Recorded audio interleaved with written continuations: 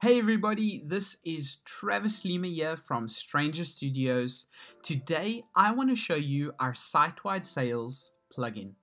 So once site-wide sales is installed and activated on your site, you should see an option similar to this. Now to get started, all you need to do is click on the site-wide sales plugin and then click on this add new button.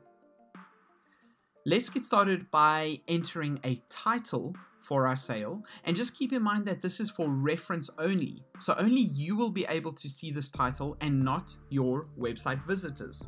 So I'm going to call this the end of year sale and I'm going to set this from December the 28th. So this is going to be my start date, December the 28th, 2020 and I'm going to end it on January, let's do January the 3rd, 2021.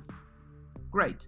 So let me just explain a little bit about the sale start date and the sale end date and why it's important to select correct dates.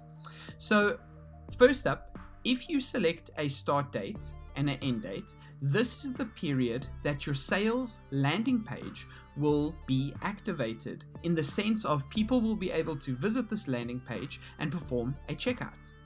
Now, this is not all that is affected by this date, this sales start and end date. In fact, if a user or visitor visits the site before the sales start date, they will see the sales landing page, but they will be able to see the pre sale content that you have set up for them.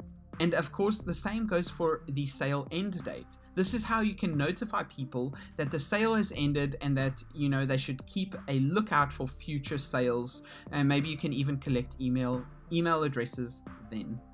Cool. So one other thing that that is important to note is that in site-wide sales, you can actually set up a banner, and a banner will appear on your website and it will allow people to click through to the sales landing page and actually complete a checkout. So this is why it's really important to make sure you have your sale start date set up as well as your sale end date.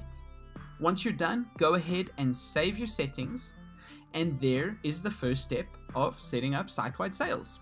In the next video, I'm going to talk a little bit about how to set up a sale type and the discount code that needs to be applied to your sale.